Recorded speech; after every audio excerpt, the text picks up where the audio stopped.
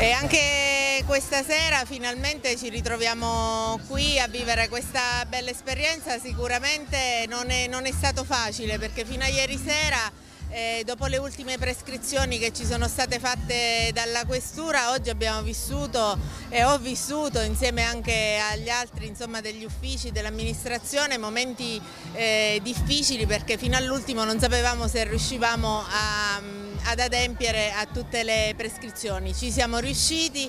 con tante difficoltà ma ci siamo riusciti. Il risultato penso che è sotto gli occhi di tutti, quindi siamo felici insomma, che anche quest'anno la Notte Bianca abbia avuto un buon risultato e ovviamente ringrazio tutte le persone tutti i dipendenti pubblici che si sono adoperati per, eh, per questo evento, quindi a partire dai vigili che si sono eh, veramente eh, diciamo, eh, impegnati in, in toto, in tutte le forze che noi abbiamo aggiunto Giulianova con tutti i mezzi, così come l'ufficio commercio, l'ufficio manifestazioni, l'ufficio cultura. E quindi un, veramente un grande grazie a tutti i dipendenti comunali che hanno permesso tutto questo. Ringraziamo, io vorrei fare a nome del comune l'organizzazione della Notte Bianca e anche di quei commercianti che, che eh, autotassandosi hanno creato degli eventi, soprattutto parlo della via Nazzarosauro Ovest dove i commercianti si sono autotassati e hanno creato un evento di, di, persone, di artisti di strada che si esibiranno,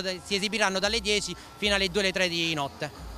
Un altro ringraziamento è per le forze dell'ordine, come ha fatto il vice sindaco, le forze dell'ordine che eh, in seguito alla riunione del tavolo tecnico ieri in questura abbiamo dovuto aumentare come numero perché l'area è molto più vasta, dovuto hanno dovuto aumentare anche la, le postazioni di Croce Rossa, protezione civile e anche con i carabinieri e con i vigili urbani che sono sul territorio per assicurare la maggior sicurezza degli avventori a questa manifestazione.